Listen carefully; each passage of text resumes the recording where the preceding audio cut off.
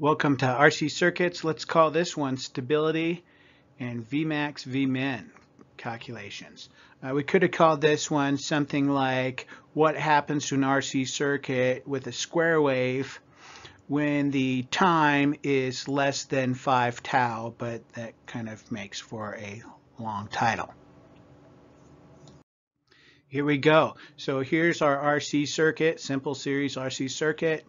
We've got a square wave now instead of our DC supply and our switch as in the previous video. But we're still going to use these two formulas, VC equals V final minus V final minus V initial e to the negative time over RC. RC is, we also know, is equal to tau, and that's both those units are time and tau are in seconds.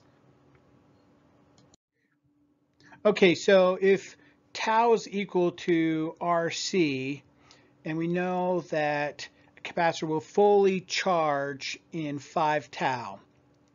We know for a square wave, our time on is going to be our charge time, and our time off is going to be the discharge time for the capacitor. Uh, also, we for, for this example, we're going to do a square wave, so our time on is equal to our time off. It's a true square wave. So the big question is, okay, what happens when time on is less than the 5 tau? Um, so obviously the capacitor is not going to be able to charge all the way, and it's also not going to be able to discharge all the way. We know that the capacitor is starting at 0 volts, so where is it going to end up? And we're going to call that uh, stabilization, and we're going to guess that it's going to take about 5 tau to stabilize. So our capacitor, let's just kind of draw in something here. So our capacitor is going to start here at zero, and you know it might charge up to somewhere right right here, depending on what that tau is. Then it's going to discharge down, and next cycle it might discharge a little bit more, discharge down.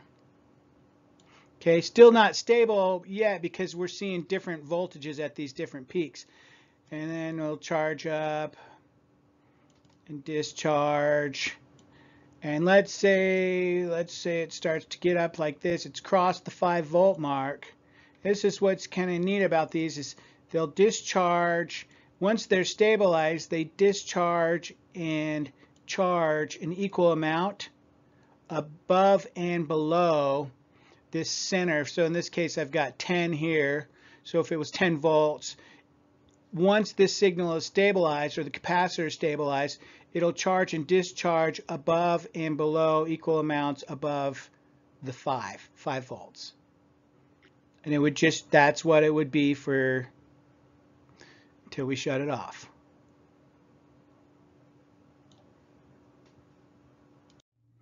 Okay, so an, an RC circuit with a square wave generator and a 50% duty cycle we want to know, or we maybe we'll try to predict how long or how many cycles will it take for that capacitor voltage to stabilize. By stabilizing, I, I mean that it's going to charge up and then charge and discharge around an equal amount above and below the average voltage of the generator. So again, that's for 50% duty cycle uh, of the square wave generator. So we're going to predict that it's going to take around 5 tau for that to stabilize. So then we can put it in terms of our uh, cycles. Number of cycles should be equal to 5 tau divided by period. Okay, so now we we have a formula that's that we think is going to represent our stabilized or our amount of number of cycles until stabilization or time to stabilization. We know how long it'll take for the circuit to stabilize. So the big question or the next question now is, okay, it's stable, but what is the Vmax? What is the max voltage and what is the min voltage? Right now we're going to predict that that is um, charging and discharging equal amounts on above and below the average generator voltage, so right in the middle there. Um, but what is the Vmax and what is the Vmin? What is it going to charge up to? What is it going to just charge down to? Okay, so we're going to use our capacitor charge formula again, and we want to get things in terms of, you know, we, we're now getting in terms of Vmax and Vmin. And so our final charge voltage, Vmax, should be equal to Vc. Our generator voltage is going to the, be the V final. Like what is that capacitor trying to charge to? And if it was just had all the time in the world, it would eventually it would charge right up to that. Um, but we're again we're working with a signal that's got not enough time, so we're less than 5 tau. Our V in is our equivalent. If you think of that capacitor charging and discharging around that middle part of the waveform, our V in initial is our V min. We also know that the V min is equal to V gen minus Vmax. Uh, that one might be a little bit confusing, but if you think about it uh, and you have a, like a 10 volt signal and you have a capacitor signal that's charging up to and down to around the center voltage, you can now take the Vgen minus the Vmax because that distance from the center went up that much to Vmax, and that same distance should go down to Vmin. So that therefore you can now put Vmin in terms of Vgen minus Vmax. And if that's confusing, then draw draw out like a little test waveform for yourself. Say, okay, my my generator is 10 volts. I know my capacitor is going to um, go back and forth around 5 volts. Say it goes up 1 volt, right? So it goes up to 6 volts and then it goes down. It should go down the equal amount, so it goes down to 4 volts. So if I look back at my uh, formula that I derived, 10 volts uh, minus 6 volts should be the 4 volts, which is the Vmin. So that's where that Vmin equals Vgen minus Vmax uh, formula comes from. Uh, my V initial uh, is equal to my Vmin, so now I can substitute that in. And I get this, I, now if I substitute all that stuff into the capacitor charge formula, I should get Vmax is equal to Vgen minus the quantity Vgen minus the quantity, which would have been Vmin right there, which is now substituted in for Vgen minus Vmax, uh, e to the negative time over RC. You can see that we can distri distribute things through and kind of do the math and kind of try to simplify it a little bit. And we end up with the Vmax equals Vgen minus Vmax e to the negative time over RC. We get the Vmax is on the same side, so we're going to add a Vmax on the right side. That brings it over the and we've got Vmax plus Vmax e to the negative time over RC equals Vgen. Factor out a Vmax, which leaves us with 1 plus e to the negative time over RC equals Vgen. Divide that by that off that side, and we get it div divided onto the other side, leaves us with our final Vmax equals Vgen divided by 1 plus e to the negative time over RC. Okay, so we've got three basic formulas where we've derived a formula that's going to describe how long it's going to take for this circuit voltages to stabilize. So the, in terms of number of cycles, uh, so the number of cycles equals 5 tau divided by period.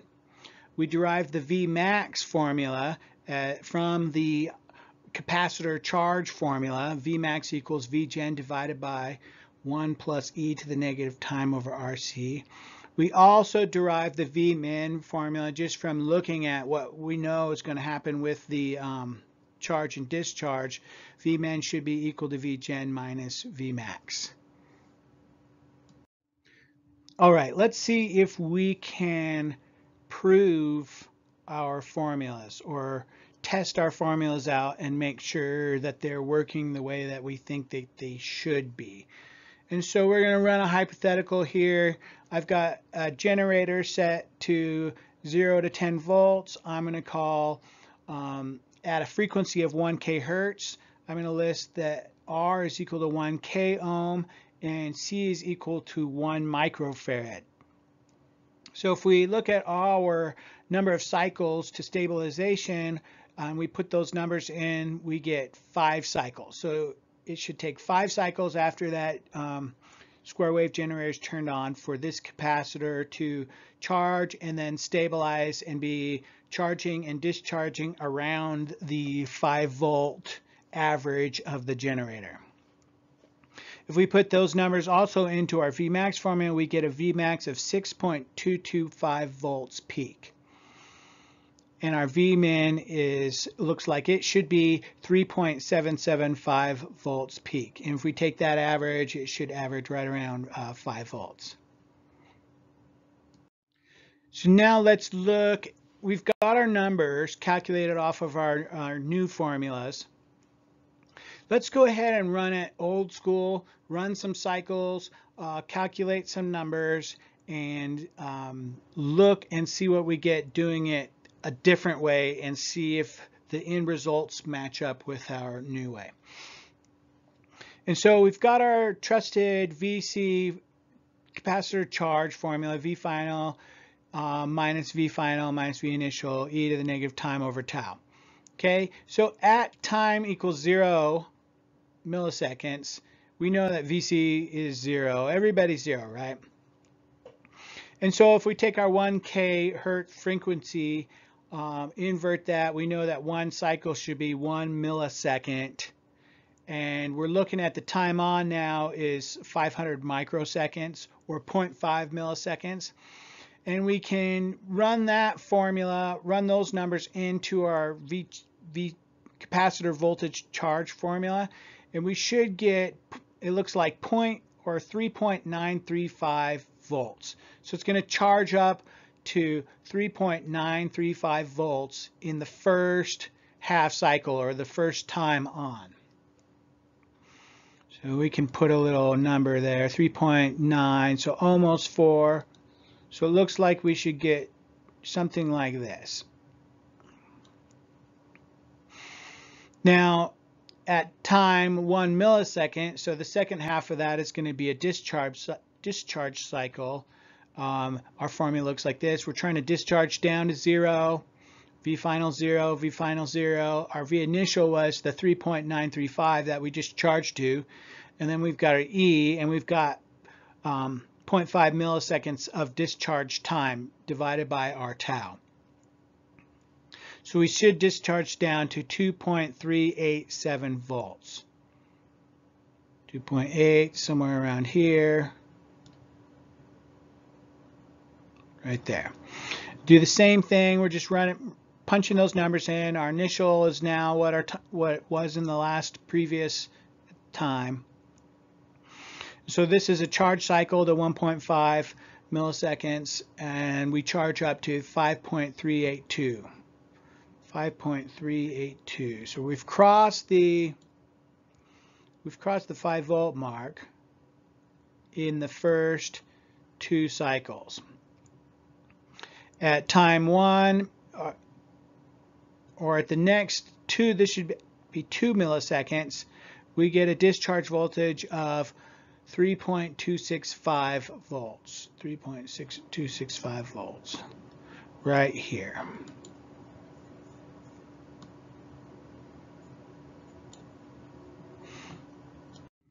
Okay, so in the previous slide, we calculated out two cycles worth of voltages. Now I went ahead and built this in Excel and set it up and verified that the first two cycles were matching and then ran it all out to 8 milliseconds so that I could graph it and we could take a look at the capacitor charge waveform. And here we observe at 5 milliseconds. So we calculated our stabilization formula, calculated that we should be stable in 5 cycles. So out here, 5 cycles at 5 milliseconds, we're seeing a minimum voltage or a VC min of 3.74 volts. And our calculated using our new formulas, we calculated a V min of 3.775 volts. And so we can see already that that we're it's one percent, so it's basically stabilized. And you can look at the waveform and see that it's it's uh, charging and discharging equally above and below the 5 volts. Now the Vmax at that point is um, at the uh, 5.5 milliseconds is 6.209. That's also within 1% of the calculated 6.225 volts peak. And when we look out to 8 milliseconds, we see that now that number is looking super, super close to our calculated Vmin. We've got a 3.774 volts compared to a, a the calculated 3.775 volts. So really, really close. And the calculated Vmax at the 7.5 millisecond mark is 6.223. Our calculated was 6.225. So I bet if we calculated this out like another few milliseconds even, or even, um, you know, probably just two more cycles, you'd see that the Vmax and Vmin would actually become our actual calculated Vmax and Vmin from our derived formulas. And so basically we've got two sets of tools here. We can always go back and use our VC equals V final, our capacitor charge formula that we're used to. Or now we've got three new formulas derived from that formula so that we can quickly like figure out how long is it going to take for these voltages to stabilize and then what is the new Vmax and the Vmin going to be with these new calculated formulas.